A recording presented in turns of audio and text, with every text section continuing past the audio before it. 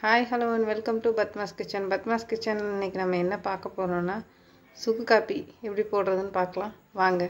அதுக்கு தேவையான பொருட்கள் என்னென்னு பார்ப்போம். வாங்க. இப்போ பாருங்கள் நான் ரெண்டு டேபிள் ஸ்பூன் மல்லி வச்சுருக்கேன். ஒரு ஸ்பூன் மிளகு வச்சுருக்கேன். கொஞ்சோண்டு சுக்கு வச்சுருக்கேன். ஒரு துண்டு சுக்கு. இந்த அளவு போதும். இதில் வந்து நம்ம மல்லியை மட்டும் லைட்டாக வறுத்து பொன் நிலமாக லைட்டாக வறுத்து திரிச்சுக்கணும். அதே மாதிரி மிளகெல்லாம் வறுக்க வேண்டாம் சுக்கி வளர்க்க வேண்டாம். மற்றதெல்லாம் மிக்சியில் போட்டு அரைச்சிக்கலாம். வாங்க இந்த பொடி எப்படி தயாரிக்குதுன்னு பார்க்கலாம்.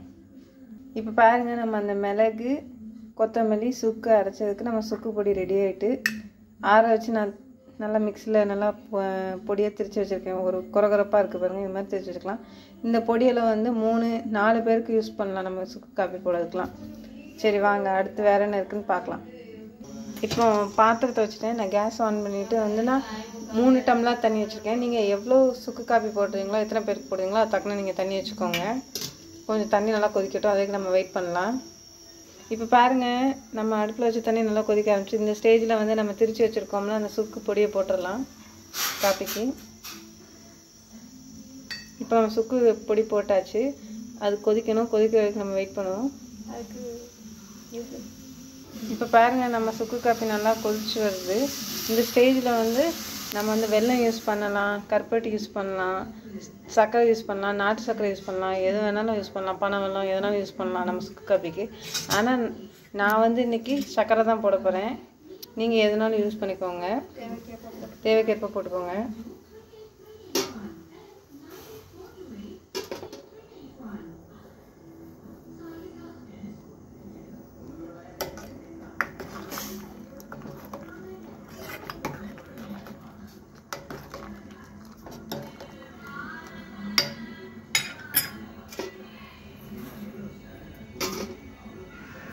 ஒரு I can't still.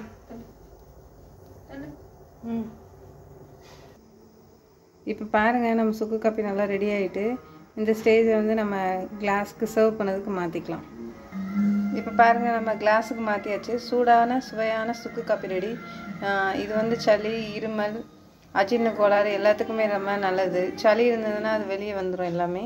நீங்களும் இந்த சுக்கு காப்பியை வீட்டில் ட்ரை பண்ணி பாருங்கள் ட்ரை பண்ணி பாருங்கள் எங்கள் சேனலை சப்ஸ்கிரைப் பண்ணுங்கள் லைக் பண்ணுங்கள் ஷேர் பண்ணுங்கள் கமெண்ட் பண்ணுங்கள் until then it's bye from Padma's kitchen